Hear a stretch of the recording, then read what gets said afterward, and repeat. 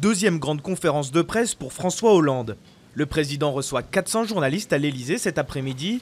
Récession économique, impopularité, remaniement, les sujets sensibles ne manquent pas. 24 heures après son grand oral à Bruxelles, il doit à nouveau réaffirmer son engagement à mener ses réformes.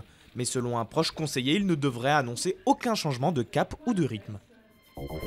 Les Nations Unies adressent un carton rouge à Damas. L'Assemblée générale de l'ONU a condamné l'escalade des attaques menées par le régime syrien lors d'un vote, une résolution qui reste toutefois symbolique. Par ailleurs, le Premier ministre turc Erdogan doit rencontrer Barack Obama à la Maison-Blanche. Il sera notamment question des suites à donner à l'attentat perpétré en Turquie samedi.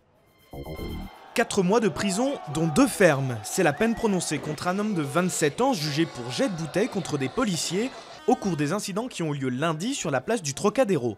Trois autres prévenus ont eux écopé de trois mois de prison avec sursis pour des faits similaires. Selon le Figaro, les violences qui se sont produites en marge du couronnement du PSG auraient coûté près d'un million d'euros. Barack Obama met à la porte le chef du fisc américain. Une enquête a confirmé que le directeur par intérim de l'Internal Revenue Service avait abusé de son statut pour lancer des procédures d'examen visant des groupes républicains. Un scandale qui tombe mal pour le président américain, déjà la cible depuis plusieurs jours d'attaques de l'opposition conservatrice. Première montée des marches hier soir au Palais des Festivals à Cannes. Leonardo DiCaprio et toute l'équipe du film Gatsby le Magnifique ont été les premiers à fouler le tapis rouge sous une pluie battante.